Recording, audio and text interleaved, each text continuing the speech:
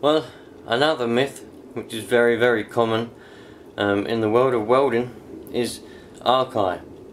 Everybody thinks if you look at the arc, you're going to get arc eye. It's not true. If you look at it with your bare eyes, you will get arc eye. You will get arc eye, and it'll hurt a lot. But you don't have to look at it through the welding screen. Not that you'd want to, because the brightness of it will still blind you anyway. But you can look at it through the welding screen as you're supposed to, no problems.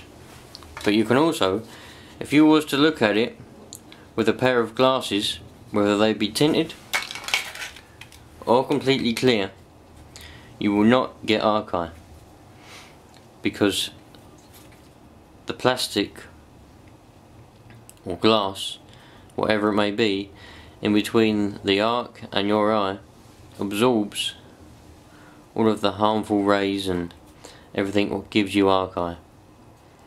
So, not that you'd, well, you wouldn't be able to look at, at an arc through any kind of glasses or anything other than a welding screen because the brightness of it would just be too painful for you to cope with because it's so bright. But you won't get arc eye. You'll probably just go blind from the sheer brightness of it. Or at least your eye will be severely damaged for the sheer brightness of it. So, that's to solve, to bust that myth that everybody thinks that if you look at an arc through anything other than a welding screen, you'll get arc eye.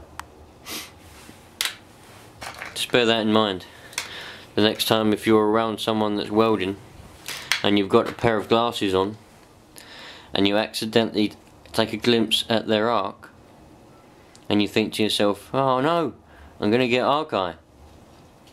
You probably won't get eye. At the very, very most, you'll just get a damaged eye. You will not get eye. So, panic over for that one, my friends.